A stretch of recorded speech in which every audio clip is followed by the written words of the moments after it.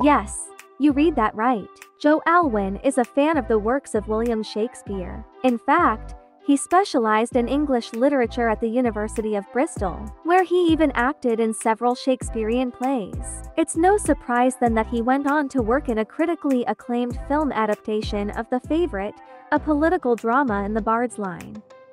It seems that Joe was destined to be an actor from a very young age. He was first discovered by the producers of Billy Lynn's Long Halftime Walk while performing in a school play. This led him to score his first major acting role, playing the lead in this critically acclaimed film. Many critics have described Joe Alwyn's performances as enigmatic and somewhat mysterious. He has a stoic and reserved presence that immediately draws the viewer in. This trait has led him to be chosen for roles that showcase his range as an actor, such as the lead in Ang Lee's Billy Lynn's Long Halftime Walk, where he played a soldier dealing with PTSD.